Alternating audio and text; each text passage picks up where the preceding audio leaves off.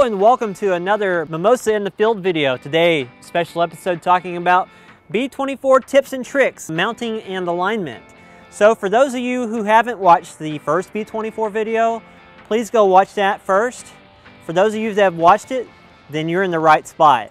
So there's been a few people who've come in to chat, community, other places who've said they've had trouble with their mounts. It's mainly this problem right here where you can see it's real loose you know, it basically moves back and forth. And I'm going to talk about how to fix that real quick. So you need your Allen wrench and your 10 millimeter.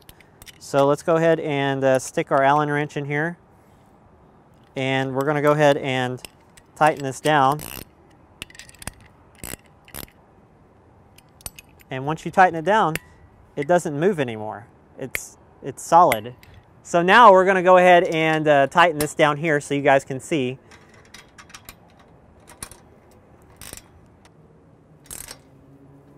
And now it doesn't move back and forth anymore. Another thing that has been talked about is that the B24 spins on the pole.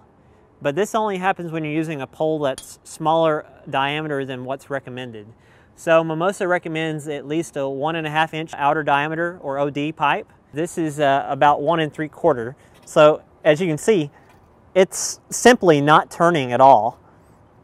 And if you're using something smaller than a one and a half, you probably need to do a standoff with a two inch piece of pipe. And uh, one more thing, LE lock 1 and LE lock 2, if you wrench these down really hard, it's going to move your radio. It's going to throw it off maybe 10 dB depending on how short or long distance it is.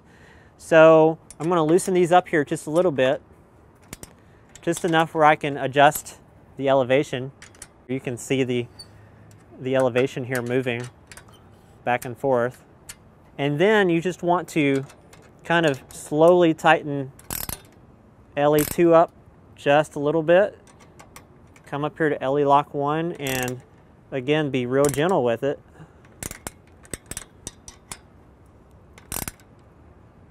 It doesn't have to be super tight either because it's not going to go anywhere.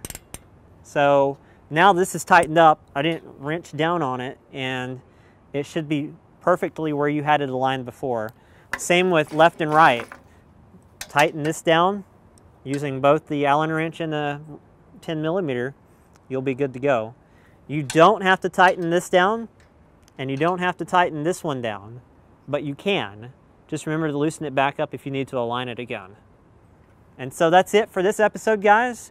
So again, if you need help, feel free to visit our support page, uh, open up a chat, uh, send us an email, or go to YouTube and look up some videos because we've covered quite a bit of material in the field.